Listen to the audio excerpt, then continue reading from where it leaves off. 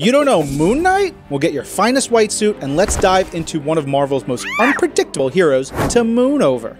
A mercenary turned Cape Vigilante, Mark Spector was enlisted by the Egyptian god Khonshu to deliver the god's vengeance. In addition to these external struggles, he also internally battles with mental issues. But back to Moon Knight's origins.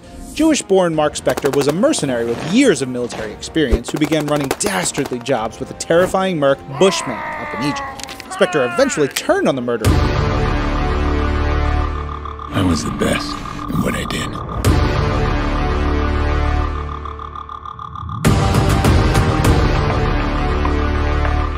I got in, got out.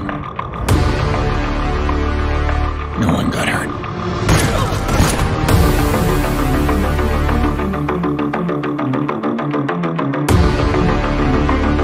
I discovered something I was never meant to see.